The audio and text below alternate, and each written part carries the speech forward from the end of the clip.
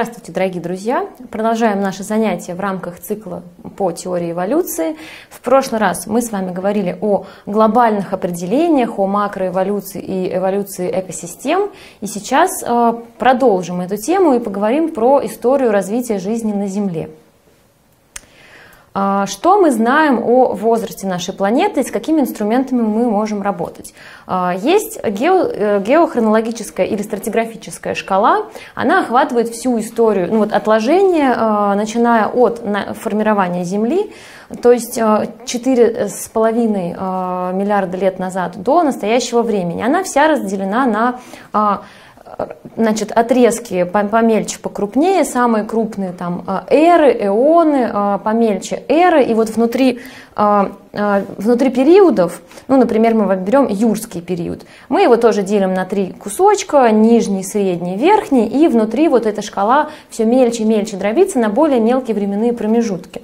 Вот, это такой универсальный инструмент, как я вам уже говорила, которым пользуются геологи, палеонтологи во всем мире, а, вот эта вот расцветка, это ключик к геологическим, стратиграфическим картам. А, сейчас я вам покажу, как пользоваться этим ключом. Вот. И а, зная, какие породы уходят, выходят у нас на поверхность, посмотрев по шкале, какой там цвет, мы можем определить, какой, какого времени там породы.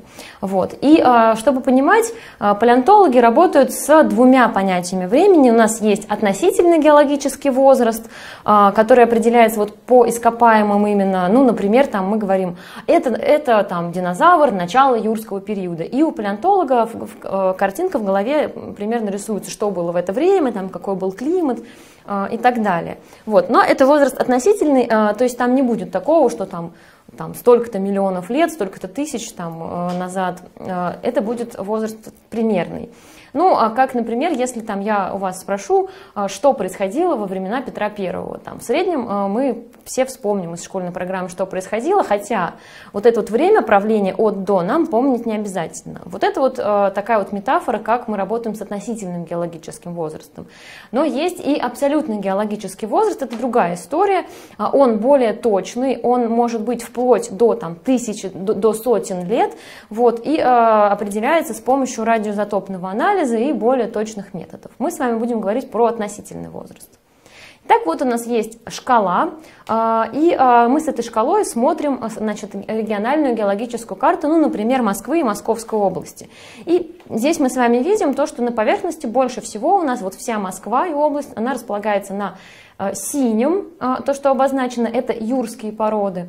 Дальше вот зелененькая это порода мелового периода, и вот желтенький это неоген. Вот, вот это э, коричневый – это карбон или каменно-угольный период. То есть мы с вами знаем, на каких породах находится э, Москва.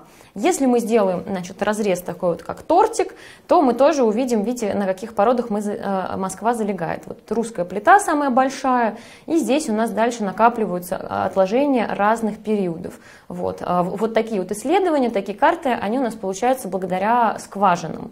То есть, а изучать мы можем только то, что выходит на поверхность. Итак, э, пробежимся по важнейшим э, событиям э, на Земле, когда зародилась жизнь. Жизнь у нас зародилась по последним оценкам, и за последние там, десятилетия этот возраст жизни, он все более удревняется. По последним оценкам это 3,7 миллиарда лет назад то есть э, почти сразу после образования Земли, то есть довольно рано. А, Земля у нас, возраст Земли, это 4,5 э, миллиарда лет, э, лет ей. Вот. И то есть мы видим, когда Земля еще была молодой, когда она остывала, уже тогда были какие-то вот у нас есть отложения, которые сформировались в воде, и достоверные следы жизни.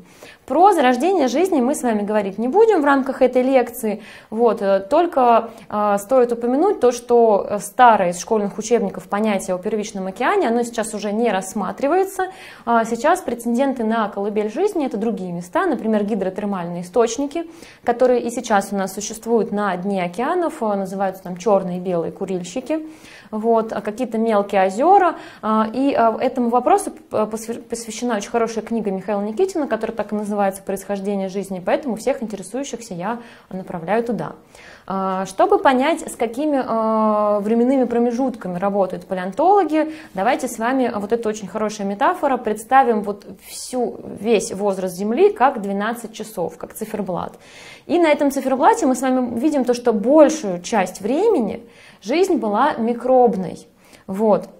А, то же самое, если мы посмотрим на шкалу, вот здесь вот промежуток, который занимал почти 4 миллиарда лет, это микробная жизнь. А, вся, вот, вот все, с чем, ну, большая часть, чем работают палеонтологи, это называется фанерозой, эра явной, эон явной жизни.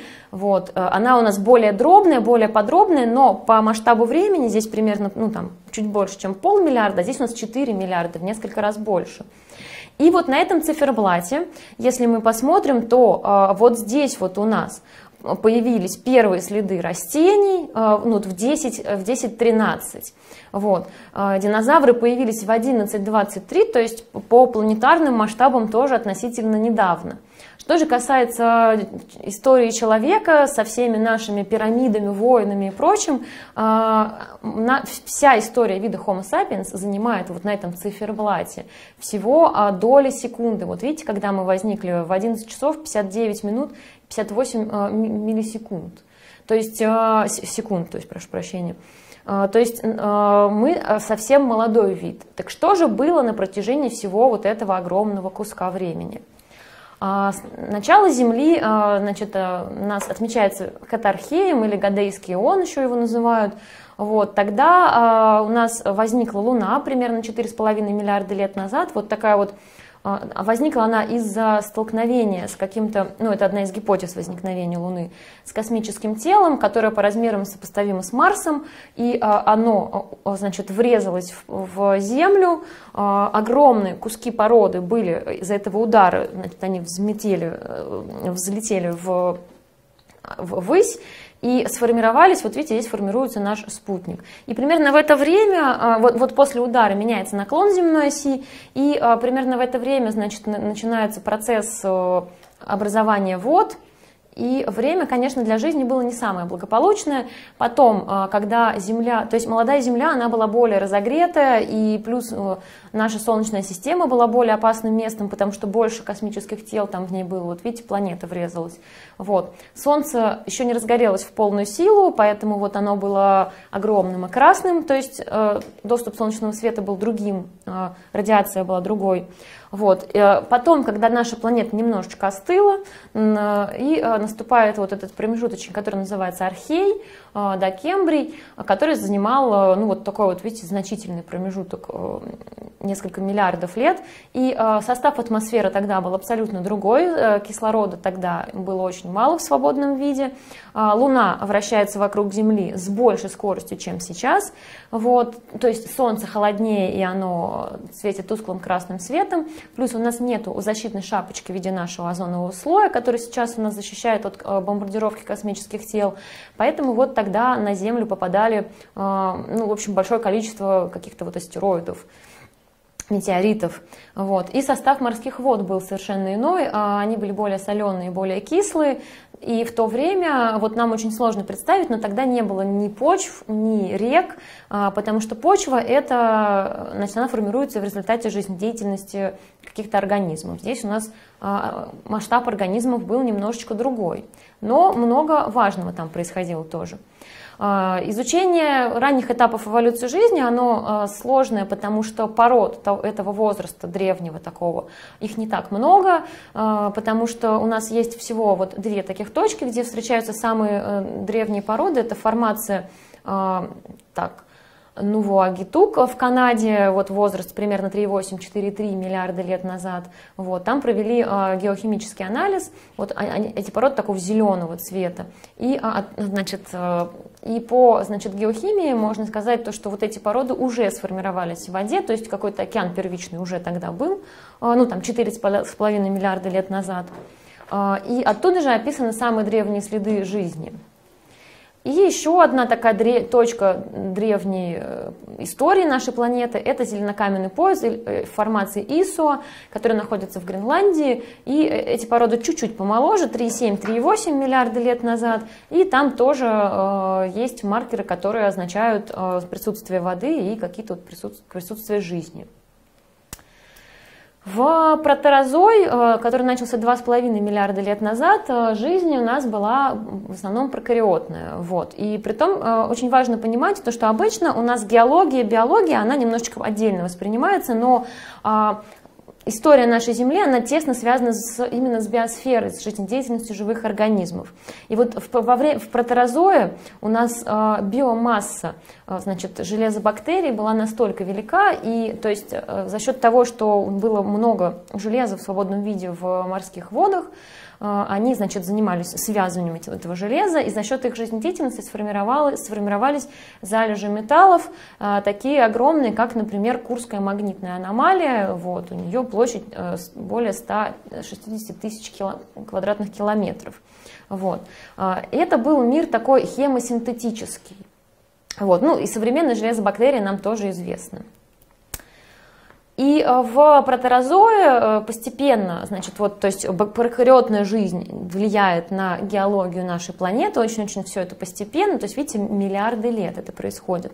Вот. А в, здесь у нас встречаются находки ископаемых, значит, строматолитов, вот, это цианобактериальные маты, это то есть э, сообщество таких прокариот, которые живут, э, формируют такие вот пленочки, наросты. А, Строматолиты есть и сейчас, э, вот они похожи на такие склизкие камни, живут в таком теплом мелководье, например, в современной Австралии.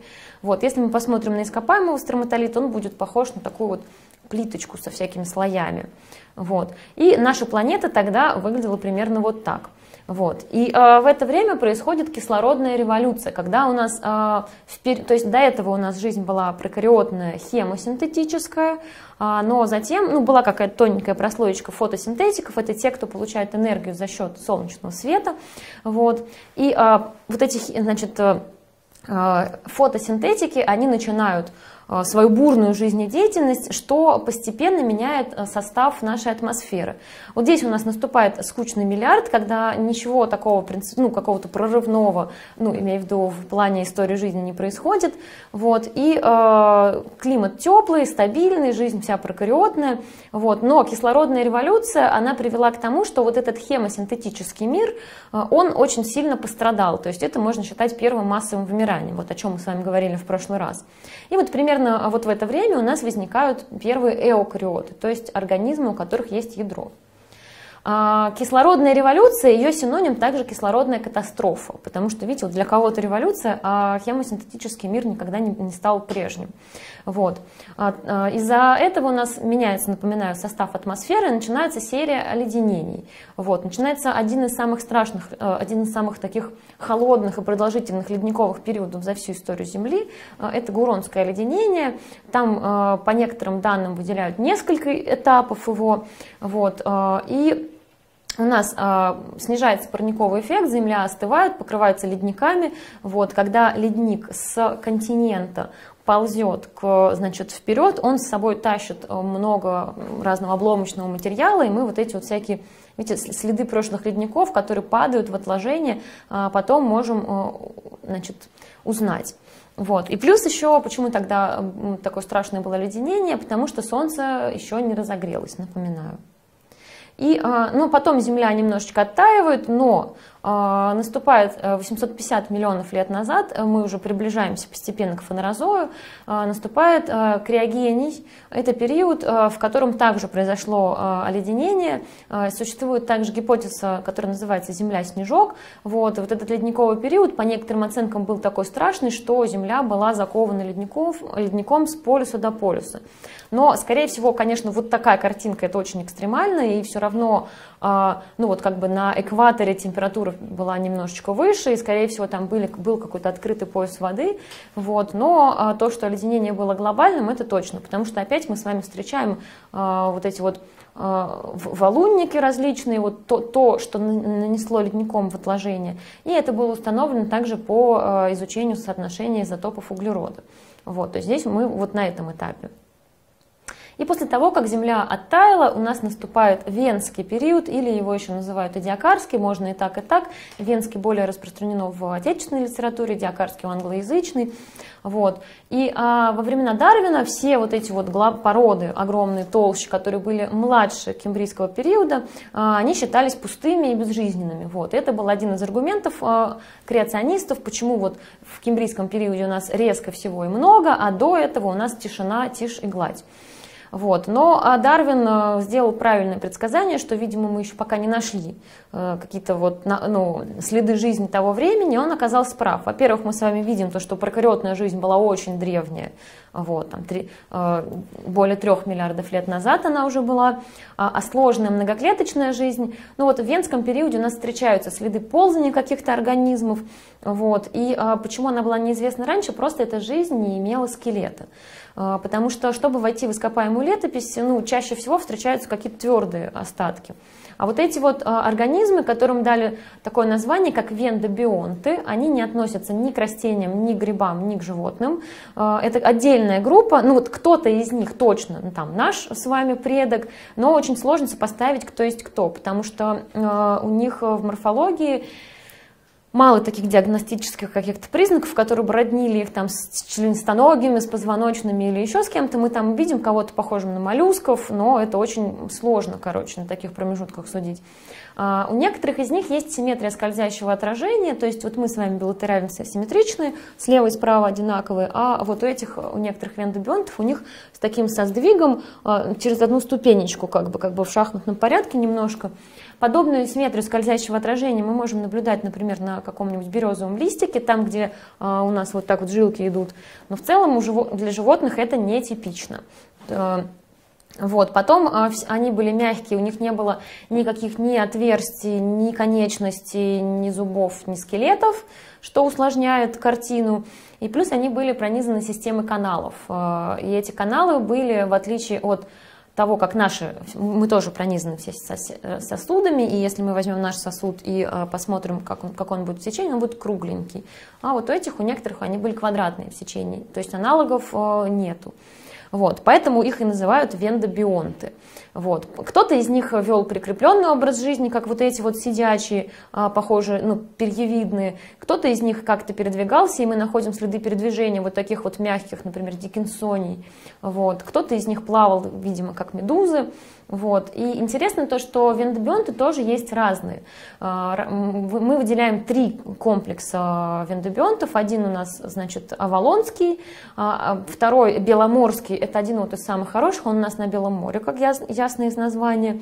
И а, Беломорская плита, она есть в палеонтологическом музее в Москве, стоит вот прямо на входе, советую обратить на нее внимание, огромное как раз таки с отпечатками вендобионтов и со следами их передвижения. И есть Намский комплекс. А, и а, вот так вот выглядела карта мира примерно в то время, и вот тут обозначены значками значит, эти находки этих окаменелостей. А, вот так вот это выглядит все в ископаемом виде, то есть э, мягкие отпечатки. В Авалонском комплексе было много таких вот перьевидных э, сидячих организмов, которые крепились. Вот у них прикрепительный диск какой-то. А, и, видимо, находились в воде, занимались фильтрацией. фильтрацией. Вот. А, Беломорский комплекс, он такой вот разнообразный, здесь есть тоже и сидящие, и какие-то вот те, которые передвигаются. А, а Намский комплекс, там есть э, маленькие такие с трубочками, э, с какими-то скелетами в виде трубочек, вот так вот они выглядят. Вот, но, то, то есть разные, то есть вендобионты это не какой-то там, знаете, редкий рефугиум, там, начало, откуда разворачивалась вся жизнь. Это очень разнообразные экосистемы, которые были разбросаны по всей планете того времени. То есть мы видим вот это, это преддверие кембрийского взрыва, то есть э, мягкоте, пока что еще мягкотелая жизнь, которая дала начало всему последующему. И предвестник кембрийского взрыва – это появление организмов со скелетом. А, пока что первые скелеты были мелкими, а, они называются small shelly fossils или мелкораковенная фауна. А, вот здесь вот мы видим, это какие-то похожие на трубочки, на колпачки. Вот. Они также известны из отложений из разных географических точек. Вот. Но пока что микроскопические. Но начиная с Кембрийского взрыва, который произошел, ну, который начался примерно 541 миллион лет назад, длился он по, почему его называют взрыв? Потому что по геологическим меркам это довольно быстрая э, эволюция, то есть если мы посмотрим на дерево жизни, вот, оно у нас сначала немножечко ветвится слабо, а потом вот, на, ну, вот в Кембрии оно у нас начинает резко вот так вот разворачивать все свои разнообразные веточки, и по, а, ну, значит, и тогда возникли представители почти всех известных нам сейчас э, типов животных. То есть там у нас происходит формирование каких-то крупных таксонов. Это важное событие в макроэволюции. Длился он э, примерно там 13-25 миллионов лет назад. То есть это все равно какой-то ну, значительный промежуток времени. Э, и отсюда у нас начинается отсчет, отсюда у нас начинается эон явной жизни, фанерозой, когда у нас находок много разных. Почему с чем мы работаем? Происходит скелетная революция, а в ископаемом виде сохраняются лучше всего именно твердые части тела. А, и в этой скелетной революции э, появились скелеты в самых разных группах организмов, далеких друг от друга, неродственных. Например, у простейших, как вот у этих радиолярий, а, у моллюсков, у членистоногих. И скелеты появляются разные, внешние, внутренние. То есть здесь мы начинаем э, видеть, как начинает ветвиться дерево жизни. Вот. А, массовое появление минеральных скелетов. Вот. И появляются эти скелеты не просто так, а, потому что Скелеты могут служить для защиты, а, и скелеты могут служить для нападения. Например, первые хищники, такие страшные своего времени, это канадонты. Это группа родственная хордовым, у них не было челюсти, но у них был такой ротовой аппарат, в который был напичкан э, вот такими вот острыми, называются канадонтовые элементы, такими э, зубчиками. Вот, и этими зубчиками они, конечно, могли страшно хищничать на, на всех, значит, поедать всех тех, кто не был защищен скелетом. То есть все мягкие вымерли, вот, и, а, а те, кто сумел как-то защититься, либо там быстрее убегая, либо, значит, обзаводясь тяжеловесным панцирем, запускается гонка вооружений «Хищник-жертва», вот, которая очень сильно подстегивает эволюцию.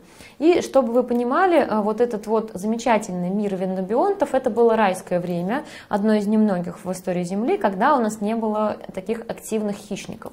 Здесь у нас активные хищники появляются. Вот. Одна из стратегий, чтобы спастись, это ты можешь обзавестись панцирем и стать хищнику не по зубам.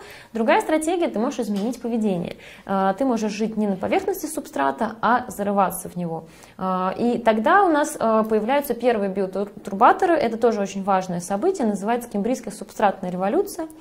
Вот. Животные начинают зарываться в осадок. Вот. А осадок э, это очень такое благоприятное значит, место обитания, там много и пищи, там ты можешь значит, защищаться от хищника. И если мы посмотрим на моря э, диакарского периода, мы видим то, что жизнь сосредоточена в основном на поверхности осадка. А здесь у нас и на поверхности осадка, и внутри осадка, и вот в толще воды везде. То есть у нас появляются новые экологические ниши, которых раньше не было.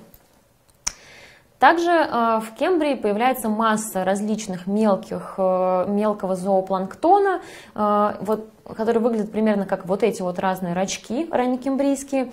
Вот. Они питаются фитопланктоном, значит, пол, плавают в толще воды в фатической зоне. Фатическая зона это то, докуда достает солнечный свет. Вот. Только здесь у нас в фатической зоне живут Э, живет зоо, фитопланктон фотосинтетический, и э, там пасутся огромное количество зоопланктона, которых выедает. Вот. И моря прошлого до Кембрия, они были более мутные, у нас была э, толще фатическая зона небольшая. А здесь у нас, благодаря работе, работе фильтраторов, у нас а, зона фатическая расширяется, это ведет а, к тому, что то есть у нас и фотосинтетиков становится больше, то есть раньше они жили у нас вот здесь, а теперь они живут у нас вот на таком огромном промежутке. И это тоже запускает такой, знаете, как снежный ком, положительно обратной связи, рост фитопланктона влечет за собой рост зоопланктона, влечет за собой рост тех, кто питается зоопланктоном, ну и дальше по пищевой цепочке по возрастанию. А, и появляется пилетная система. В чем заслуга этих мелких рачков, фильтраторов? В том, что а, питаясь в толще воды, они свои экскременты, у них экскременты в виде таких плотно упакованных пилетиков, то есть это переработанная органика, она не просто выбрасывается в воду, а вот эти пилеты, они падают на дно, и там вот они скапливаются, а, а вода становится более прозрачной. То есть появление пилетной системы это тоже такая революционная штука. И что мы с вами видим? Мы с вами видим то, что у нас а, огромное разнообразие э, экологических ниш. Вот, жизнь у нас, зона жизни у нас очень сильно расширяется, а, эволюция у нас, темпы эволюции, помните, мы с вами говорили, что в каких-то меняющихся условиях она может а, действовать, ну, темпы будут быстрее. И это мы с вами увидели как раз-таки во время Кембрийского взрыва. Такую вот ускоренную очень эволюцию. А, и немного о находках кембрийских ископаемых. Есть такое уникальное месторождение, которое называется Лагерштедт. А, то есть э, это место, где а, сохраняются не только твердые, но и мягкие части там, животных. И они вот прям вот со всей детальностью, со всеми вот ножками, со всеми усиками. Вот. Возраст этого э, месторождения примерно там 508 миллионов лет. Вот. Находится на западе Канады. Канады. И там находятся, отпечатка, находятся отпечатки многих животных. Вот как, например, интересная история. Оттуда была описана такая вот а, кругленький отпечаток по центру с таким вот квадратиком. А, был описан как медуза. И отдельно были описаны такие вот членистые странные животные, которых назвали аномала карис или аномальная креветка. А, ну, они в целом, да, по форме тела очень похожи даже на современную креветку, с какими-то вот лапками, членистость мы видим, метамерность. Но потом э, стало известно то, что вот эти две находки – это э, одно и то же животное. И то, что ранее описывалось как медуза, это на самом деле ротовое отверстие, а вот эти вот креветки – это ротовые придатки, которые использовались для охоты, похожие вот как у рака богомола, такие, значит, он. Только у рака богомола это передние конечности, а здесь ротовые придатки. И а, в сланцах Бёрджес встречаются находки динокорид. А, это такая группа вымершие. Они а, похожи действительно там на каких-то ракообразных, но это не раки. А, они относятся к эоартроподам, какой-то вот древней веточке. А, членистых конечностей у них нет, у них были такие плавательные лопасти, хорошо развитое зрение, то есть это были суперхищники своего времени. Вот. И а, вот эти передние хватательные придатки. И а, аномало, динокарет было очень много разных, были крупные, мелкие, с глазами, с без, вот, но, значит, они вымерли.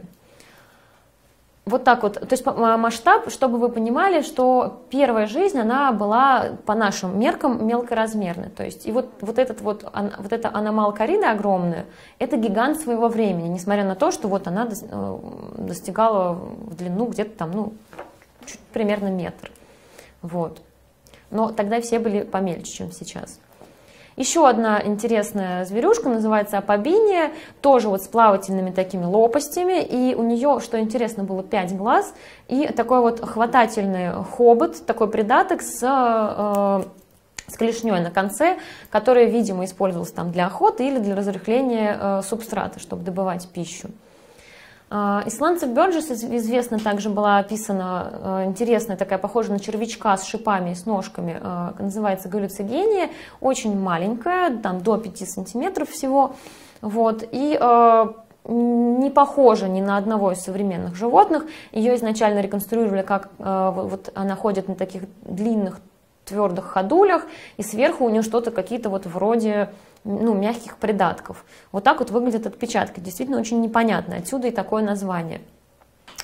Но когда начали смотреть под микроскопом эти отпечатки галлюцигении, наш, обнаружили то, что вот на этих мягких придатках, то, что раньше рисовалось на спине, у нее э, маленькие по два коготочка.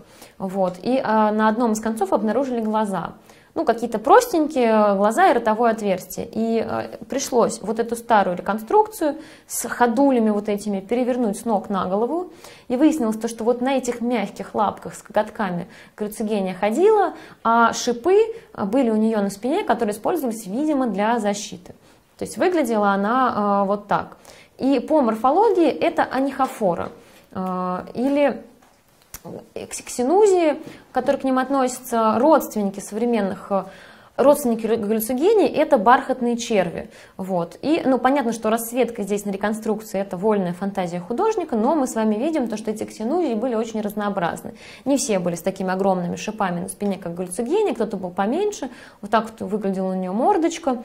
А, вот такие интересные ксенузии. И мы с вами видим то, что ранняя эволюция вот, э, животных э, сложных, многоклеточных, она полна таких вот переходных форм, которые не имеют аналогов э, в современном мире, и э, очень много вымерших групп. Поэтому э, изучать это все безумно интересно. Затем э, продвигаемся по линеечке с вами вверх, наступает ордовикский период, и тогда, то есть в Кембрии у нас вся жизнь была сосредоточена в море, э, начиная с ордовика, потихонечку э, растения в, вместе значит, в симбиозе с грибами, э, они начинают покорять сушу, но жизнь, конечно, сложная, такая многоклеточная, была в основном сосредоточена в морях. И а, здесь у нас происходит а, великая а, значит, ордовикская радиация. То есть после Кембрийского взрыва у нас ничего принципиально нового, ну, новых макротаксонов не возникает, типов, классов, но идет диверсификация, то есть бурная радиация, развитие а, у нас усложняются. То есть здесь у нас планктонная революция произошла с пилетной системой и прочим. А, а в Ордовике у нас уже донные обитатели, рифостроители у нас начинают связи усложняться усложнять. И появляются масса разных групп, которые этим занимаются, фильтрацией и строительством рифов. Вот. То есть э, у нас э, возникают таксоны более мелкого порядка. И тогда э, были уже крупные прямораковые головоногие моллюски. Э, вот, например, э, они встречаются в, ордовикских отложениях, например, из Ленинградской области. Это вот из Сталина. Там парк городской облицован породами этого времени. И там можно встретить вот такие вот раковины прямораковинных моллюсков головоногих. Но а, все заканчивается ордовик-саурийским вымиранием, которое произошло 445 миллионов лет назад. А, очень многие группы вымерли, которые как раз в Кембре бурно развернулись. Вот. И а, причины этого вымирания а, похолодание и вулканизм. Но мы с вами говорили то, что а, вот начиная с фанерозоя у нас а, было целых пять массовых вымираний, и это первое из таких страшных. Но а, в силурийском периоде жизнь потихонечку восстанавливается. А, здесь у нас уже разнообразные там, членистоногие, такие как трилобиты, а, головоногих моллюсков тоже очень много. Начинается эволюция позвоночных бурная, сейчас мы про это тоже еще поговорим. А, и а, членистоногие были особенно разнообразны, были даже огромные такие представители, как а, рака скорпиона, или их еще называют эврепатериды. Это хелицеровые, и они средний размер, они были где-то сантиметров по 20, но могли достигать до 2 метров в длину. Это были суперхищники своего времени. Интересно то, что эти эврепатериды, они одни из первых начали покорять пресные водоемы. Во-первых, у нас есть следовые дорожки, мы знаем, что были какие-то, видимо, периодические выползания на сушу. Это, то есть вот это у нас одни из первых животных, которые покорили сушу. Они могли выползать либо для размножения, либо для того, чтобы как раз-таки переползти из водоема в водоем. Вот. Есть морские пресноводные формы. А, вот так вот примерно выглядели первые растения. Они были мелкими, они были такими вот маленькими кустиками, которые росли где-то по кромке водоемов. Затем они ушли вглубь материка только позже. Вот. Но а, первые членистоногие уже вовсю ходят по суше. И один из таких первопроходцев тоже у нас есть а, следовые дорожки, это многоножка. А затем наступает Дивонский период, это такое время рыб, когда у нас в крупный размерный ряд выходит, то есть до этого у нас были, видите, членистоногие, а, головоногие, в общем, различные беспозвоночные. Здесь у нас а, позвоночные вот в эту гонку врываются и появляются крупные формы. И в это время наступает расцвет панцирных рыб. А, или плакодерм, а, они, а, в отличие, от современных представителей, были покрыты таким вот, ну как понятно из названия, э, сложным, как из пазла, собранным из, э, из табличек, из чешуек, панцирем. Вот это, например, панцирная рыба батриолепсис, они очень хорошо сохраняются в ископаемом виде, причем не всегда целые, иногда в виде вот таких вот отдельных чешуек. Это фотографии находок, сделанных на территории Смоленской области в летних школах. Вот так вот выглядят их отдельные чешуйки. А, тогда было страшное время, было ради чего обзаводиться таким панцирем. Потому что суперхищники тоже были панцирные. И а, такая суперзвезда палеонтологии – это рыба, которая называется дунклястей. А, значит, по старым реконструкциям она могла достигать метров 6 в длину, огромная, гигантская, а, ну, понятно, вот видите, в масштабе с человеком. Вот. И она вот этими своими страшными зубами могла дробить а, вот такие панцири, как орешки вполне. Вот. Но э, в этом году вышла статья, где изучали морфометрию, там э, соотношение вот всяких параметров в черепе э, панцирных рыб и современных. Все это сопоставляли, и по новым оценкам э, вот этот донклясты, он был более такой вот коротенький. Э, поэтому вот по новым реконструкциям он все еще страшный хищник, но уже помельче. И тогда были разнообразные, ну, вообще в палеозое, не только в Дивонском периоде, э, значит, без, группа разных бесчелюстных. А, не все то рыба, что на нее похоже. А, есть вот всякие архаичные э, бесчелюстные, такие вот, вот это вымершие примеры э, бесчелюстных. А из современных бесчелюстных у нас известны только миногие миксины. Ну, как понятно из названия, у них ротовое отверстие есть, но челюсти нет, как у, как у всех, начиная от рыб. Вот, и тогда они были особенно разнообразны. И в Дивонском периоде происходит покорение позвоночными э, уже суши. Э, э, суша, суша была уже подготовлена, потому что там уже сложилось какое-то растительное сообщество, там уже были членистоногие, то есть было зачем выходить. Вот. И на сцену выходят тетраподы. Тетраподы это все, или четвероногие, это все наземные позвоночные. У нас мы все с вами имеем начало из общего корня. Мы с вами уже про это немножко разговаривали, но напомню, то есть э, Тетраподы могли утрачивать конечности в процессе эволюции, как, например, червяги или змеи, но э, наша общность в том, что у нас наши э, передние и задние конечности все устроены по одной формуле. А вот здесь вот у нас одна большая кость, две кости поменьше и много маленьких в кисти.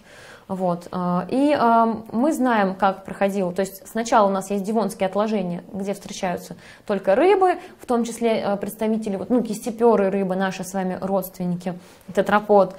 И в конце дивона у нас уже встречаются тетраподоморфы, то есть первые какие-то вот с лапками наземные позвоночные.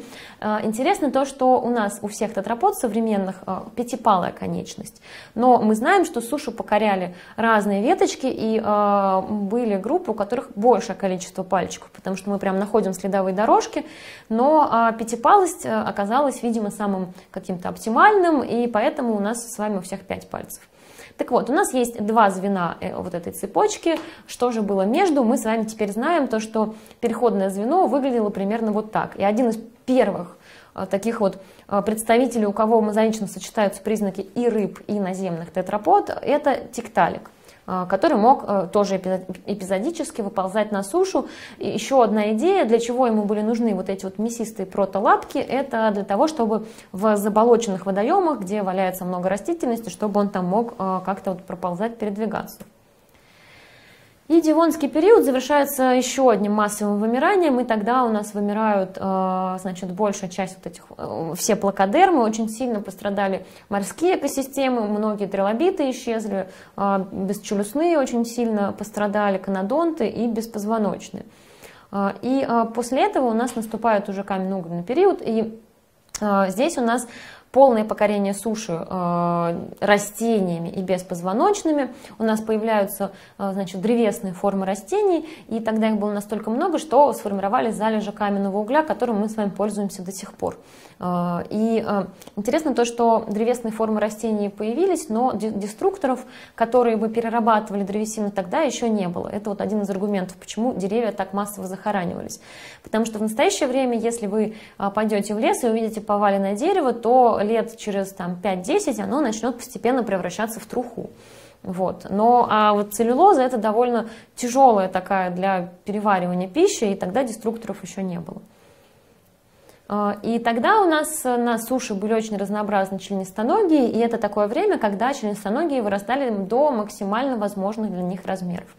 Почему это было возможно? А, система дыхания членистоногих, она, в отличие от нашей, значит, состоит из трахей, которые, это э, мелкие трубочки, которыми пронизано все их тело, они выходят наружу вот, и подводят э, кислород к, ко всем нужным органам важным.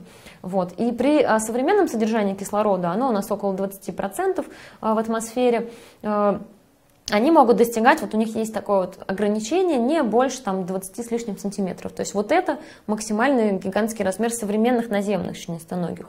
Но э, в то время на, значит, кислорода было в атмосфере больше, 35%, поэтому они э, были, и, и насекомые были больше, и другие членистоногие. Ну вот, например, как такая вот, э, похожая на стрекозу меганевра, была размером с современную крупную птицу, размах крыльев до 75 сантиметров. А, были довольно крупные скорпионы, многоножки, могли достигать э, длины значит, вообще 2, до 2,5 мм. Мы это можем реконструировать по следовым дорожкам, которые мы находим. То есть это был а, такой вот их максимум исторический. А, какая была жизнь в море? Ну, а, значит, вот, например, а, моря того времени на территории Московской области, они образовывали такие, значит, здесь были целые заросли из иглокожих. Это морские лилии, сидячие такие, которые образовывали целые подводные сады. И морские лилии это, иглокожие, которые после смерти часто распадаются на отдельные таблички, такие членики. Они выглядят очень интересно, вот так вот выглядит россыпь этих члеников. Ну вот которые из породы извлечены, и э, часто их принимают еще за какие-то детали э, инопланетных кораблей, но это все эхо, значит, прошлого. Э, затем после карбона наступает пермский период, и здесь происходит важное событие, заво... абсолютное завоевание суши позвоночными.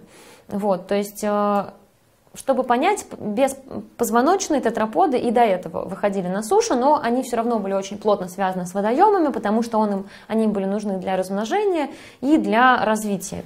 Вот. И у нас все, значит, такие э, животные называются анамнии, то есть они размножаются икрой, из икры выходит личинка какая-то, вот, они дышат жабрами, э, хотя бы на какой-то из возрастных стадий, ну вот, например, как головастики у лягушек.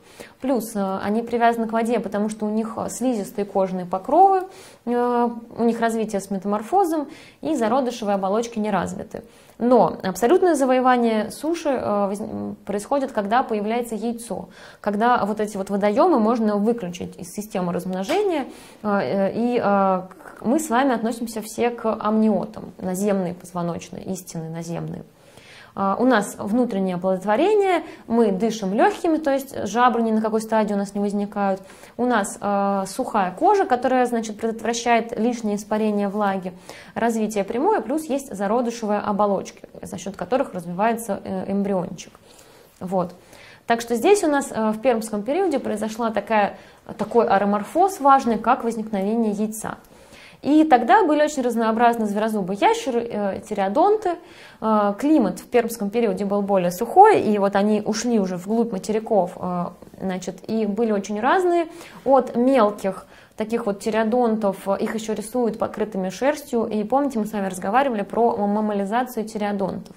Это вот как раз начинается в это время, и какие-то вот мелкие такие а, мамалеобразные формы и дали начало потом всем млекопитающим. Но были и крупные суперхищники, как, например, иностранцеви, такие сублезубы размером крупнее э, волка, и такие вот крупные хищные формы, как диметродоны. Э, также в пермском периоде э, были распространены пары рептилий, такие как париозавры. Они были крупные, тяжеловесные. В палеонтологическом музее есть целый зал с париозаврами, под красивыми хрустальными люстрами. Вот. И э, интересно то, что все вот эти вот звероящеры, они, э, постановка конечности у них была такая рептильная, то есть э, по бокам тела расставлены вот, ну, вот так вот примерно. То есть каких-то э, быстрых рывков они там, скорее всего, не совершали. И вот эти вот гонка вооружения хищных жертв тогда могла быть немножечко замедленная, потому что такая была постановка конечностей. И э, пермский период э, завершается массовым вымиранием, которым еще называется Великое Пермское вымирание. Это одно из самых, это самое страшное, пожалуй, самое массовое. А, здесь у нас исчезают около 90% морских и более 70% э, наземных животных, видов. И это знаменует конец палеозойской эры. Жизнь никогда не станет прежней, и что же тогда произошло? Во-первых, тогда были извержения вулканов планетарного масштаба. И это мы можем сказать, потому что у нас есть сибирские трапы. Вот. Э, это на, в Евразии, на территории России э, баз, такие вот отложения вулканические э, и реконструкция изливания вот этой лавы, она, вот смотрите, прямо вот от начала материка практически до Байкала. То есть насколько глобальное это было вымира... э, извержение. Вот. В результате сформировались огромные базальтовые скалы в Сибири и площадь э, около двух э, квадратных километров.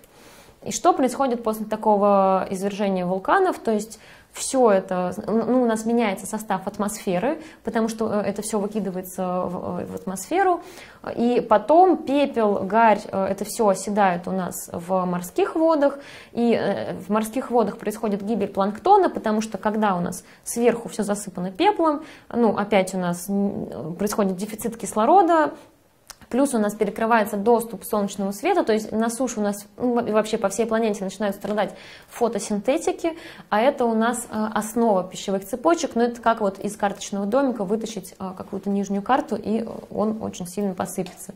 Это мы и видели, э, и можем значит, наблюдать в, пермском, в конце пермского периода. И э, в результате пермского вымирания полностью вымерли такие процветающие в палеозое группы, как трилобиты, рак и скорпионы. Очень сильно пострадали многие группы рыб, э, морских организмов других. Вот, на суше пострадали насекомые и очень сильно пострадали пары рептилий и ящеры. И наступает, затем наступает мезозойская эра, 252 миллиона лет назад после вымирания – и это такое вот время рептилий, можно его назвать условно. И на восстановление после вымирания понадобилось около 30 миллионов лет. То есть жизнь э, постепенно восстанавливалась, пустующие экономические, э, экологические ниши занимали те, кто выжил. И в триасовом периоде э, жизнь выглядела, ну, такая вот картинка, ветер перемен называется, очень воодушевляющая. Рептилии и млекопитающие перешагнули ступенечку вымирания и дали начало новым группам. И чтобы понимать, кто был разнообразен э, в мезозое, э, значит, надо разобраться, тогда были разнообразны архозавры. К современным представителям архозавров относятся две веточки, это крокодилы и птицы. Вот. Но в мезозойскую эру у нас, вот смотрите, древо архозавров было как разнообразно. Тогда были, значит, ну, не птичьи динозавры, во-первых, плюс птерозавры, морские ящеры некоторые и различные сестринские таксоны крокодилов.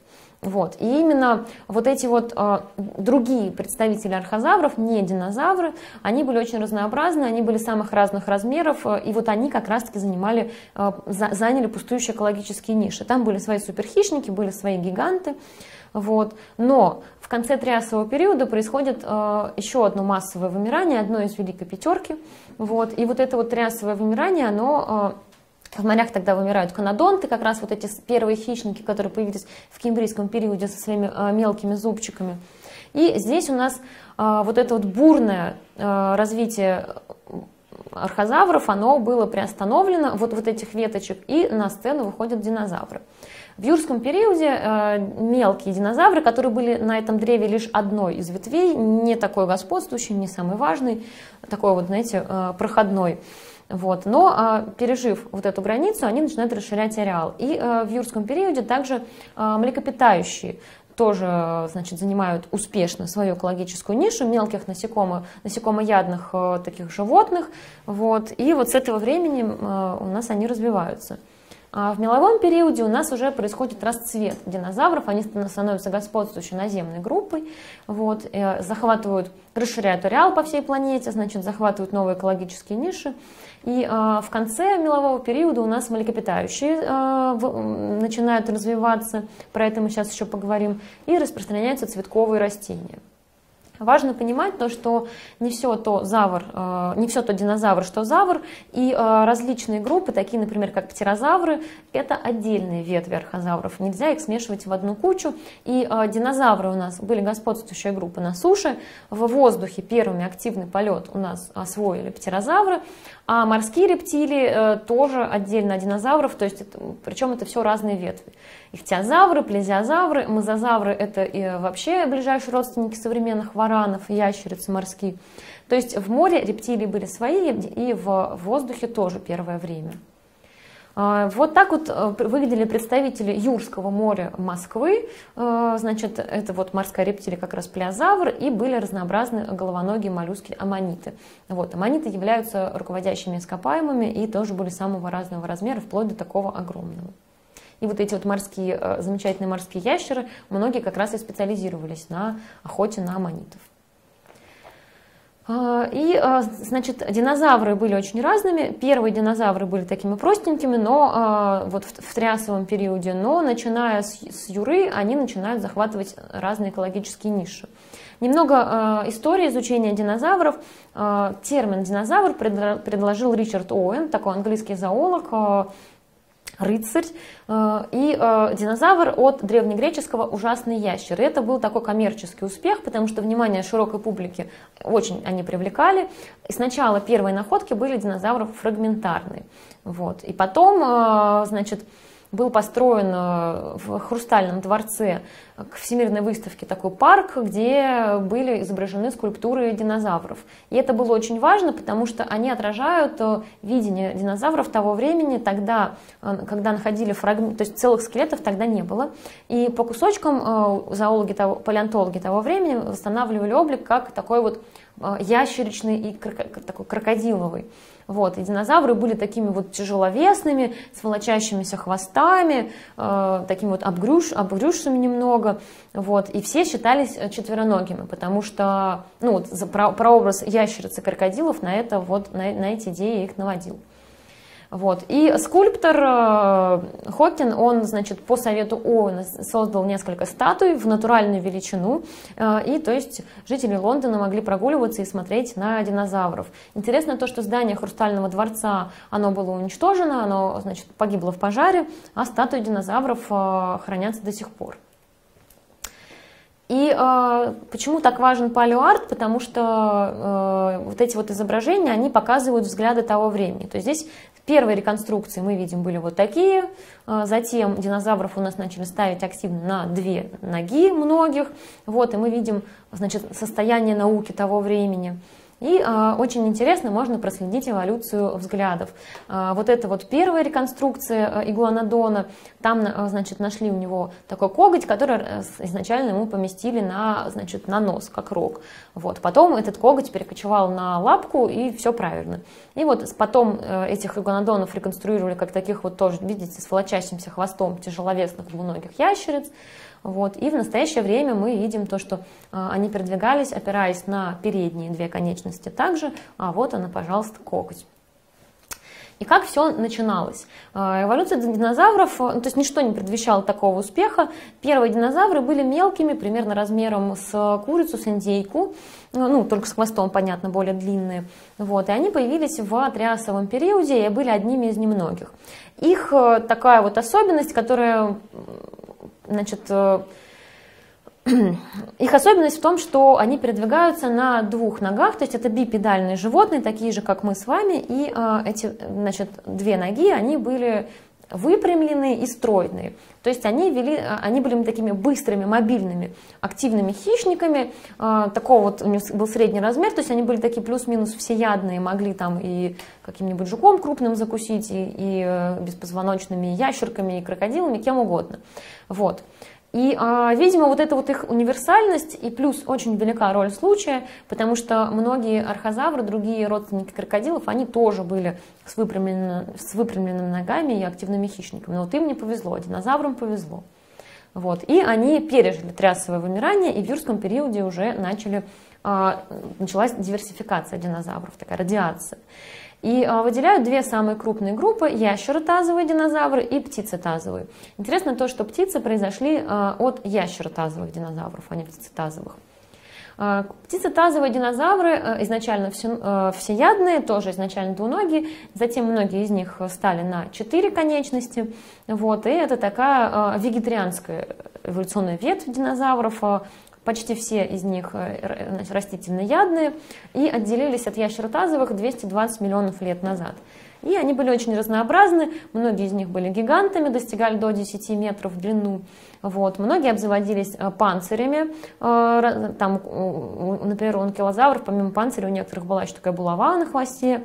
Вот. Многие обзаводились рогами, кто-то из них, например, как гадрозавры или утконосы ящеры, вели стадный образ жизни. Вот. И вот у цератопсов был такой вот, видите, рога и красивый воротник, который, а, видимо, использовался и для защиты, и как демонстрационная такая структура. А, в общем, а, видимо, такое обилие защитных структур и защитных стратегий, оно не просто так. И мы знаем сейчас то, что другая веточка эволюционная, это ящеротазовые динозавры, среди них как раз, как раз таки вот они пошли по пути хищничества.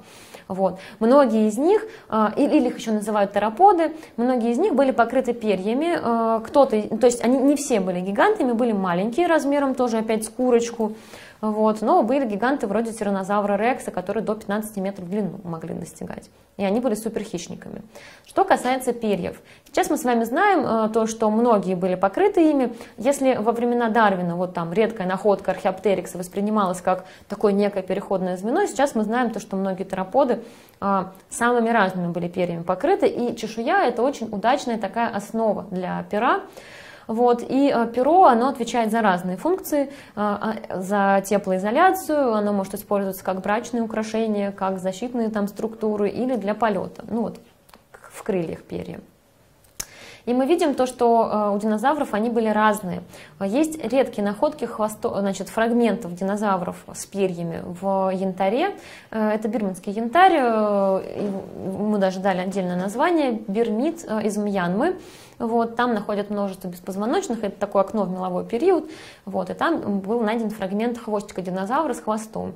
И посмотрели, там, значит, перья потрясающей сохранности и э, посмотрели на строение пера.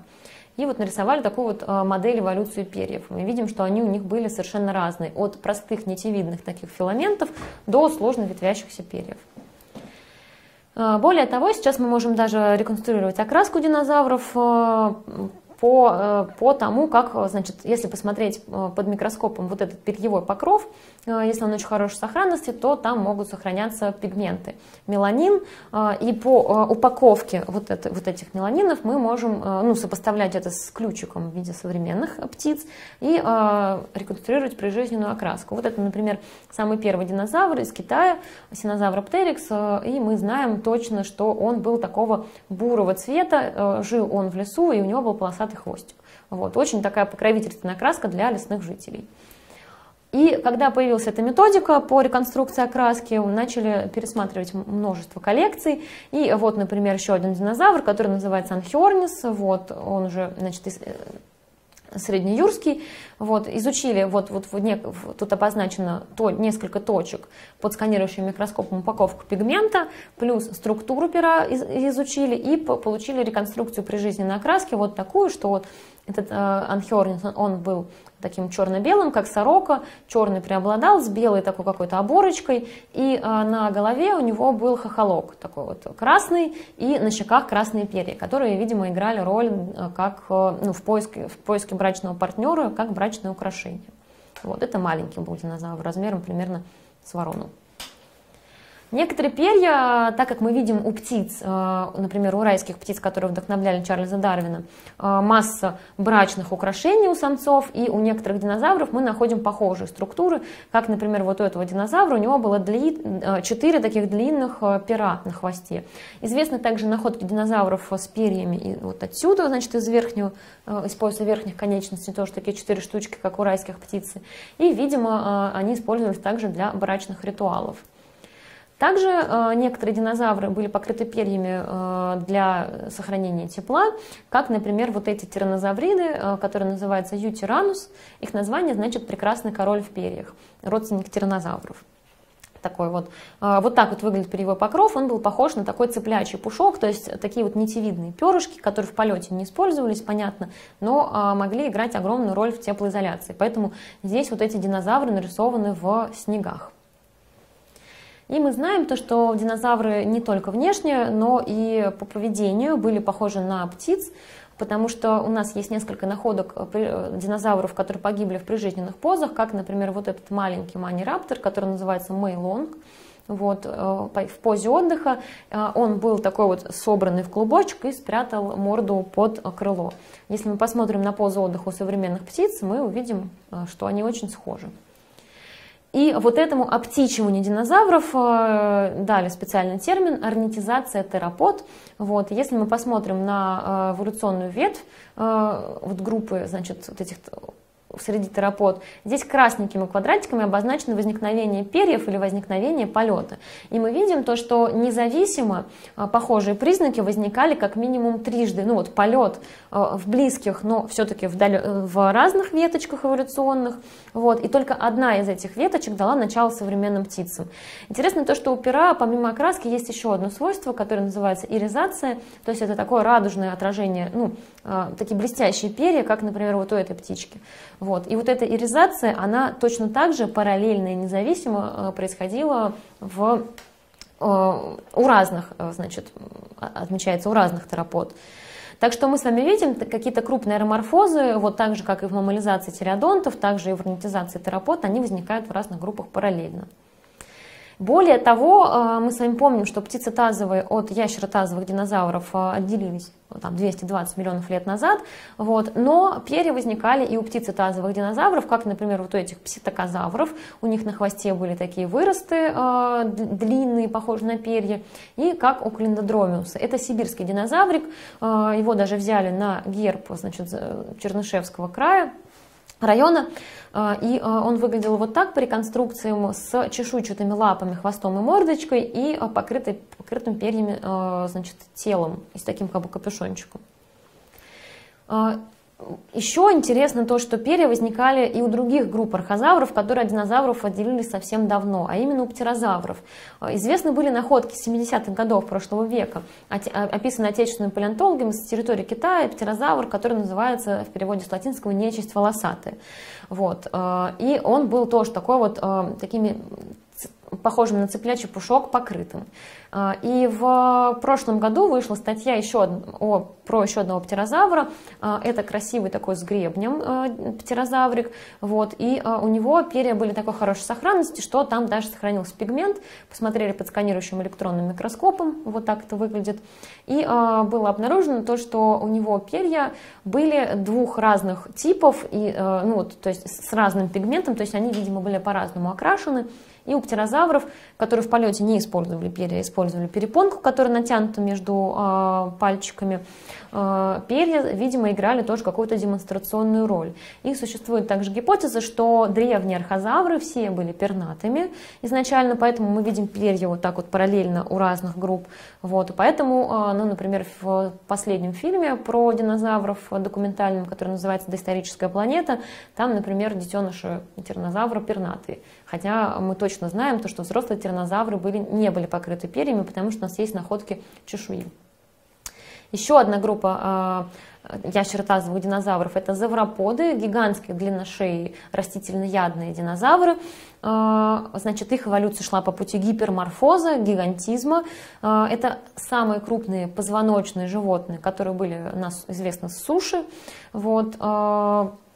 Это были вегетарианцы, и по э, старым реконструкциям они были такими тяжеловесными, но сейчас мы знаем то, что у них был э, такой вот очень ажурные значит, позвонки, через которые проходили в, значит, во время жизни воздушные мешки какие-то, которые облегчали вес э, этих завропод. Так что эти завроподы были хотя огромные, но не такие тяжеловесные, как нам казалось изначально.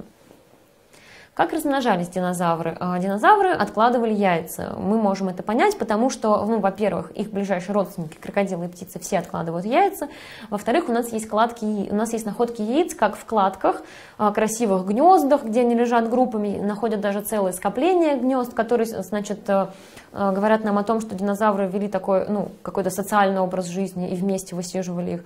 И а, находят скорлупу отдельно, она очень разная бывает, орнаментированная, богато там украшенная всякими бугорками. Вот. И э, у динозавров было гнездовое поведение очень разнообразное. То есть кто, у кого-то, видимо, была забота о потомстве, кто-то, как морские черепахи, откладывал яйца, закапывал и уходил. Ну, например, такая стратегия размножения была вот у этих крупных завропод, потому что э, маленькие детеныши завропода, когда вылупляются из яйца, они небольшого размера, и с родителями контактировать, конечно, проблемно.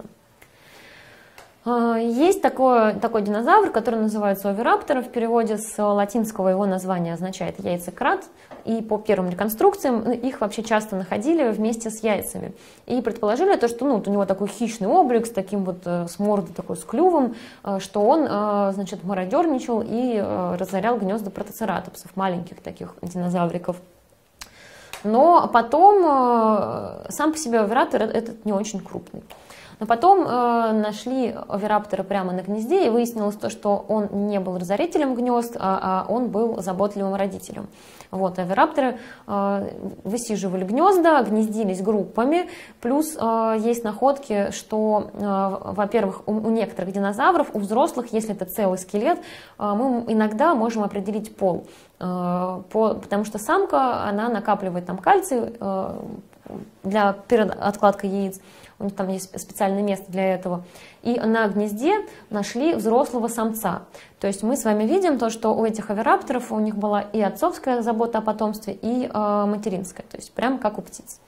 Так что некоторые динозавры э, заботились о потомстве, ну и аверапторы эти жили группами. Как росли динозавры? А, велось много споров о том, теплокровные они или холоднокровные. А, ну вот а, завроподы мы можем сказать то, что они теплые по инерции. Они нагреваются за день и не успевают просто остыть, поэтому они все время тепленькие. Но у некоторых динозавров был такой прямо птичий быстрый метаболизм, то есть активный. Это мы можем сказать по тому, как они росли. Понятно, что продолжительность жизни и скорость роста это все очень видоспецифично, но росли они очень быстро тирексы достигали своего взрослого возраста примерно лет на 20-25, мы это можем рассчитать, изучив гистологию ткани, посчитав, посмотрев, как она там нарастает. А гигантские завроподы достигали своего взрослого роста, э, размера примерно лет за 15. Это очень быстро. А, Еще один вопрос, то есть э, обычно динозавров нам рисуют в таких каких-то классических тропических местообитаниях, теплых, но э, есть находки полярных динозавров. Понятно, что тогда э, полярные области были не такие холодные, как сейчас, но при этом там температура могла опускаться до нуля. Там росли леса, у нас есть находки такой растительности, вот, например, из позднего мела Аляски. Вот, и э, до каких-то первых минусов температура опускаться могла. Плюс там была полярная ночь, которая длилась целых 4 месяца. И при всем при этом остатки динозавров, и не только динозавров, а других также рептилий, а, известны и даже из таких отложений. Вот. И а, а, есть две точки а, на севере Аляски, там очень много их, и у нас с вами на Чукотке. А, там находятся фрагменты скелетов динозавров, зубы, причем и взрослых, и детей. Значит, видимо, они там жили постоянно, хотя яиц пока не найдено. Вот. И, а, то есть в, в, в полярную зиму, в такую нормальную, э, со снегом динозавры встречались. Вот. Находок с, динозавров с перьями пока тут нет, но так как перья это могут служить для теплоизоляции. Здесь вот все динозавры расперначенные такие. И интересно то, что полярные динозавры, они чуть меньше э, своих, э, значит, более южных сородичей, э, более теплолюбивых. Вот, например, полярный тиранозаврит, он был в длину примерно метров 6, в отличие от гигантского тиранозавра классического. Но э, все заканчивается опять-таки массовым мелполиогеновым вымиранием. Э, оно самое известное у нас, самое недавнее. Вот, и у нас порода очень четко разграничивается с динозаврами и без. И э, существуют э, разные взгляды. Сейчас э, ведущей является астероидная или импактная гипотеза, про это тоже мы с вами немножко поговорили. Э, вот. Ну, вот физики Альвареса, отец и сын, они обнаружили иридиевую аномалию. Это повышенное содержание иридия, которое в свободном э, виде на Земле мало, а в космосе много. видимо, он был занесен. Вот. Также у нас есть Чекшулупский кратер э, на полуострове Якатан и э, что происходит после падения астероида, нетрудно представить, потому что, значит, ну, во-первых, вот в этой точке э, сразу же моментально все э, живые организмы погибают, ну, это катастрофа сразу моментальная. Но почему у нас по всей планете это все так разошлось? Потому что в атмосферу поднимается пыль, поднимается гарь, э, перекрывается доступ к солнечному свету, и опять мы видим, как э, вот эта карточка, когда у нас начинают страдать фотосинтетики из этого карточного домика, вытаскивается, и пищевые цепочки начинают разрушаться. И в это же время, примерно на границе мела и палеогена, помимо астероида, у нас есть маркер глобальных опять вулканических ну, извержений вулканов который находится на значит, территории современной Индии. Вот здесь вот на карте на границе мелопалеогена это выглядело вот так. И там сформировались деканские трапы. Они, конечно, меньше сибирских, но все равно огромного масштаба. То есть э, сейчас считается то, что ведущую роль, э, главный такой последний гвоздь в крышку, гроба, в крышку гроба динозавров э, сыграл, значит, именно астероид. Но помимо этого у нас менялись экологические условия, которые менялись постепенно, плавно, и есть экологическая гипотеза, которая тоже объясняет вымирание динозавров и других групп. Мы знаем то, что растительные сообщества за 40 миллионов лет до вымирания начали перестраиваться, и если до этого преобладали голосеменные растения, то в конце мезозоя у нас картинка меняется вот такая, на вот такую, а, на а, более цветковую облик, а, и, ну, и по, значит, считается то, что динозавры не смогли быстро приспособиться к новой кормовой базе. Но мы с вами знаем то, что некоторые динозавры, они значит, научились быть истинно травоядными, а трава, э, это как раз-таки цветковое растение, она очень тяжелая для пищеварения, потому что в, у цветковых растений э, значит, содержатся фитолиты, это такие маленькие кусочки значит, твердого вещества, которые, ну, в общем, вспомните э, современных растительноядных, какая у них громоздкая пищеварительная система. Вот. И некоторые э, утконосы и динозавры научились есть вот эту неудобоваримую цветковую пищу, э, траву.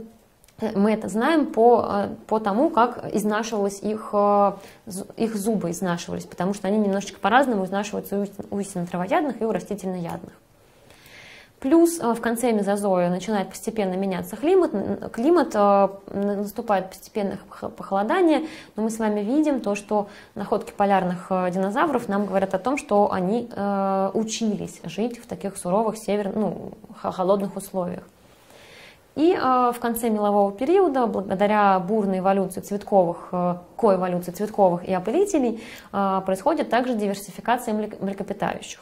Когда у нас появляются растительно, истинно травоядные млекопитающие, а, а другие млекопитающие выходят в новый размерный класс. То есть до этого первые ну вот, юрские млекопитающие были очень мелкими, насекомоядными, ночными, а, а здесь у нас появляются более крупные, размером где-то, ну там, современную кошку, современного барсука, и они всеядные, они ели и вот этих травоядных, значит, э, э, своих собратьев э, могли есть каких-то там беспозвоночных и плюс могли питаться мелкими архозаврами. Вот. А вот в этот размерный класс мелких архозавров у нас как раз-таки вписываются дети динозавров. И э, есть несколько находок с такого крупного хищного млекопитающего с как раз-таки с, с косточками динозавров. Это пример, прямое свидетельство того, что они занимались таким страшным хищничеством. И все это, конечно, э, сыграл свою роль в вымирании динозавров. А, и подводя итог, мы можем, э, значит, что спасло некоторых динозавров, то есть э, почему все не птичьи динозавры вымерли, а птичьи остались. Вот. Ну, это мелкие размеры, какая-то эврибионтность, мобильность, э, которую им обеспечивал полет, плюс забота о потомстве, что важно, когда тебя значит, поджимают вот такие вот страшные хищники. Вот, полет, и, конечно же, очень велика роль случая, а, как и, все, как и все в эволюции, потому что в это время в мезозое были, например, ненцорнисовые птицы, которые не являются птицами, а, но они были очень похожи, но при этом они вымерли, а вот э, динозавры птичьи остались. Это вопрос. И подводя итог, э, значит, мы с вами можем сказать, то, что динозавры это очень эволюционно успешная группа. Их господство длилось более 200 миллионов лет, колоссальный промежуток времени. Вот. И э, вот, если мы посмотрим, как они были разнообразны в мезозое, а в кайнозое они тоже э, чрезвычайно разнообразны. Это вот эволюционное древо птиц современных, известно более 10 тысяч видов. То есть важно понимать, что все не птичьи динозавры вымерли, вот, а птицы у нас с вами остались и продолжают Э, быть успешными. Затем, после мелполиогенного вымирания, у нас конец мезозоя и наступает кайнозойская эра, это время млекопитающих и птиц. Освободилась масса экологических ниш, которые начали, выжившие начали занимать. И в палеогеновом периоде у нас климат э, еще пока теплый, вот, но э, уже прохладнее и суше, чем в мезозое. Вот. На полюсах постепенно формируются ледяные шапки. Э, вот так вот выглядело примерно животный мир. Э, и в палеогеновом периоде у нас появляются, начинается бурная диверсификация опять млекопитающих и птиц. Они занимают пустующие экологические ниши, возникают гиганты, своего времени, как, например, вот этот вот индрикотерий. Это родственник современных носорогов, э, и это э, животное дало начало дало название целому комплексу фауны, который называется индрикотериевая фауна, э, которые обитали на территории Евразии.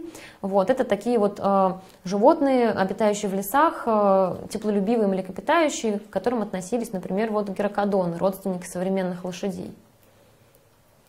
А, к мегафауне также относились гигантские ленивцы, которые обитали на территории Америк. Вот, а, они существовали вплоть до а, появления человека и могли достигать до 6 метров в высоту. В Дарвиновском музее есть реконструкция в натуральную величину там, при входе прямо также э, были известны э, из того времени гигантские нелетающие птицы. Вот, они обитали на территориях Европы и Азии, и Северной Америки. Вот, на старых реконструкциях этих гигантов обычно рисуют вот такими страшными плотоядными. Причем интересно, какая инверсия ролей, то что здесь вот гигантская хищная птица и маленькая лошадка. Но по э, значит, составу изотопов реконструировали диету вот этих хищных, гигантских птиц, которые раньше считались хищными, и выяснилось, то, что они вегетарианцы. Вот. В неогеновом периоде начинается серия оледенений, потихонечку начинает формироваться современное биоразнообразие, современный ландшафт, уже он узнаваемый. А, и а тогда, значит, э, была известна с того времени гиперионовая фауна. А, это такие вот группы э, млекопитающих, которые обитают в лесостепях, редколесьях. Там было очень известно много разных хоботных, много разных жирафов. К ним относились, значит, псовые, кошачьи, антилопы, бегемоты. Название дано в честь вот этих таких маленьких трехпалых лошадок, которые называются гиперион. Ну, они были размером такие с крупную собаку. А, про эволюцию лошадей тоже а, очень важный момент. А, важно понимать то, что вот гиперионы и, и родственники современных лошадей были не первыми, кто занял адаптивную зону вот этих травоядных, быстрых млекопитающих. Вот. Параллельно э, другая группа, которая называлась литоптерны, которая сделала это раньше, э, они также вели похожий образ жизни и были травоядными. И мы видим эволюцию конечностей, которая очень похожа на эволюцию конечностей лошадей. Но лошади оказались более приспособленными, у них была э, конечность лучше устроена, э, и плюс там у них по-другому менялись пропорции тела, э, значит, у лошадей шел, было увеличение размера, а вот этих литоптерн нет. И интересно то, что литоптерны были вытеснены своими более поздними собратьями, вот, и лошади оказались э, успешны и э, до сих пор у нас, значит, существуют. К хищникам гиперионовой фауны относятся различные саблезубые кошачьи, как, например, вот эти. А, плюс а, интересная история, кошки динофелисы, они встречались и с нашими а, значит, предками, потому что мы находим черепа австралопитеков с двумя пробитыми такими дырочками ровными. Это следы как раз-таки удара саблезубого кота. Вот. И в состав гиперионовой фауны входили также предки человека. Еще одна э, визитная карточка неогена – это гигантская акула мегалодон, э, охотник на древних китообразных, она могла достигать поразительных размеров, вот это вот всего лишь один зуб. Э, причина вымирания мегалодонов – это изменение климата и проигрыш в гонке вооружения хищных жертв, потому что вот раньше она охотилась на китообразных, но э, у нас с вами очень хорошо изучена эволюция китообразных, и мы знаем то, что они потом стали крупнее, ну вот, короче, и в этой гонке выиграли. Вот, и в настоящее время китообразные относятся к группе китопарнокопытные, то есть э, первые э, предки китообразных были такими вот копытным э, размером с собаку животным, хищным. Затем наступает четвертичный период, или его еще называют антропоцен. Э, вот мы уже с вами находимся на самой верхушечке э, геохронологической шкалы, подбираемся к человеку. Вот, э, его делят на, на два промежутка, плейстоцен и голоцен, и вот тогда уже окончательно узнаваемые современные ландшафты разнообразия у нас. В плейстоцене наступает ледниковый период, причем из-за колебаний климата вот эти ледники, они то наступают, то отступают, вот, и многие животные покрываются густым мехом, и такие вот холодолюбивый облик значит, у них. Вот так вот выглядела Э, карта 18 э, тысяч лет назад, вот до сюда аж доходил ледник э, снизу и сверху. Если мы посмотрим на карту России с тем, как распространялись ледники, мы с вами увидим, что, например, Москва, до Москвы ледник доходил. Вот. Интересно то, что мы с вами можем видеть эхо ледникового периода. А, это такие эротические валуны, это порода, которая принесенная откуда-то. То есть и такие вот э, валуны, они встречаются а, в Финляндии, в Карелии, а, в Смоленской области они тоже встречаются. То есть это принесенные ледником. Значит. И мы знаем то, что вот очень важно изучать эти ледники, эти валуны, потому что мы можем реконструировать путь ледника, как он наступал и отступал потом. И откуда. Вот, это то, тоже такой пример ледниковой эрратики на территории Смоленского поозерья. Причем она может быть как огромной, как, э, так и вот мелкая. Вот то, что здесь мелкая крошка, это тоже ледник нанес. И, э, значит, тогда была разнообразна мамонтовая фауна. Э, это очень известные животные. Мамонты, тоже такая визитная карточка палеонтологов. Интересно, что ее можно сопоставлять с фауной африканской саванны. То есть там примерно адаптивные зоны те же самые и представители родственные. Вот. А, название дано в честь шерстистого мамонта, но мамонтов было много разных, в том числе вот были а, карликовые, вот. А, мамонты были покрыты густой шерстью, и у них была такая многослойная шуба, и если мы посмотрим вот на эти реконструкции, так, сейчас там, может быть, будет более удачная, они были, такая длинная у них была шерсть, шуба покрывала ноги, как, вот, как будто в юбке он был. А, и мамонты, они существовали относительно недавно, если мы будем сравнивать там с каким-то, допустим, кембрийским периодом и так далее. А, поэтому у нас есть находки не только костей, но и а, мягких тканей. Находят множество мумий мамонт, из мамонтовой фауны, причем это не только мамонты, такие как знаменитый мамонтенок Дима или мамонтенок Маша или мамонтенок Люба, им дают имена разные. Но также нам известны мумии, например, пещерных львят и, значит, носорогов шерстистых и так далее. Это, это важнейший источник информации, потому что мы можем посмотреть, как системы органов были устроены, что у них в желудке. Вот, например, как один из самых старых, э, одна из самых старых мумий мамонтов, это березовский мамонт, который в 1900 году был обнаружен охотниками, и в 1901 году э, первые экспедиции были по извлечению этой мумии. Вот здесь прям целая лапа мы видим. А, Значит, из вечной мерзлоты несколько лет этого мамонта извлекали, э, привезли в Академию наук, там изучали, и сейчас мы знаем то, что возраст абсолютный 44 э, тысячи лет этому мамонту березовскому, и у него в желудке даже сохранились непережеванные остатки травы, и по которым мы можем установить то, что это был конец лета. Вот такая вот э, реконструкция в зоологическом музее Зоологического института Питере, березовского мамонта. Причем интересно то, что здесь он э, даже в той же самой позе, вот в какой нашли э, эту мумию. Последние мамонты обитали совсем-совсем недавно, они пересекались с человеком. Ну, во-первых, мы э, об этом знаем по многочисленным наскальным рисункам. Ну, и здесь у нас есть абсолютные датировки. На острове Врангеля это был такой рефугиум последних мамонтов. Они были мельче, чем свои крупные предки. 3,7 а, тысяч лет назад они там, значит, всего существовали. То есть а, это время Древнего Египта. Также э, известны находки самых последних мамонтов с Таймыра. Там вот тоже примерно того же возраста.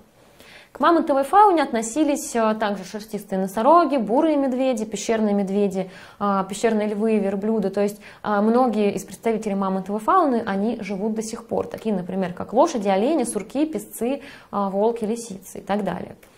А, вот еще примеры вымершей мегафауны а, были, например, древние пингвины были крупнее, также известны древние гигантские кабаны, черепахи, а, броненосцы, родственники вамбатов. Ну, про индрикотерии мы с вами уже поговорили. Мегатерий – это гигантский ленивец и гигантские такие вот родственники капибар. Но э, у кого-то произошла обратная инверсия ролей, и мы видим то, что кто-то наоборот уменьшился, как, например, акулы. Если сравнить с мегалодоном, э, вот, а киты у нас вот увеличились наоборот. И затем наступает голоцен, э, в, значит, уже в позднем плейстоцене начинается вымирание мегафауны, оно часто его приурочивают к жизнедеятельности человека, но это не совсем так. Все-таки в Голоцене теплее, чем в плейстоцене, и мы сейчас с вами живем в в межледниковье, в более теплое время кайнозоя. Вот. И э, когда поменялся климат, э, поменялись, исчезли те богатые сухие тундростепи, которые были богаты травой, э, которым питалась вся вот эта мамонтовая фауна, и то есть это все заросло лесами, заросло, покрылось болотами, и мамонтам просто стало негде жить. И жизнедеятельность человека не такую большую роль оказала, хотя э, у нас есть находки человеческих жилищ, сложных из целых там бивней мамонта, из целых там каких-то костей мамонта, но э, при изучении этих костей мы видим то, что на них нету следов э, обработки орудиями, то есть с этих мамонтов ничего не соскребалось живьем, поэтому, то есть это люди, вот как на кладбище слонов, видимо, э, они собирали вот этот костный материал и просто использовали его э, в своих хозяйственных целях. Так что, конечно, человек играет большую роль, особенно сейчас, но тогда у нас была не та численность, чтобы прямо вот активно загонной охоты мамонтов изничтожить. А, Все-таки большую роль сыграл климат, потому что исчезли не только мамонты, исчезли шерстистые носороги, исчезли пещерные львы, которые обитали на территории, ну, там, даже Европы современной, а, пещерные гиены, вот. Но а в Голоцене, а, а, значит, после вот этого вымирания мир очень похож уже на современный. Вот, э, и уже существуют люди современного типа, уже с орудиями, с, культур, с культурой. Ну, а дальше что было, мы с вами уже примерно знаем. Вот, вот так вот выглядели э, Homo sapiens. Э, Причем, видите, здесь интересно то, что одежда покрыта множественными элементами украшений. Мы видим уже сложную культуру, которая запустила у нас с вами не только биологическую эволюцию, но, точнее, которая и культурную эволюцию запустила бурную. А, и а, напоследок хочу порекомендовать некоторые книжки для тех, кто интересуется историей развития жизни на Земле. А, вот эта книжка, здесь вот тройка книг Андрея Юрьевича Журавлева, посвященная разным группам позвоночным, плюс в похождении видов очень много про эволюцию беспозвоночных, которые можно использовать прямо как учебник, и книгу «Сотворение Земли». Там про то, как жизнь повлияла на геологию планеты и как это все связано. Потом очень хорошая книга Антона Нелихова «Изобретение изобретатель париозавров, это вот про вот этих пермских ящеров, а, и переводные книги про трилобитов, а, которые, трилобиты это руководящие ископаемые, которые в палеозое были очень распространены. Значит, и а, «Затерянный мир Дарвина» здесь у нас про то, что было до Кембрийского взрыва и про вот этих удивительных, интересных вендобионтов. По а, не динозаврам также могу посоветовать книгу «Когда Волга была морем» и «Древние чудовища России». Вот. А, и плюс еще переводная книга, про, целая книга про птерозавров. Здесь мы с вами не стали а, затрагивать эту тему, но это тоже интересная группа, потому что они шли своим эволюционным путем, и ни их полет, ни их мозг не похож на птичий. Удивительно.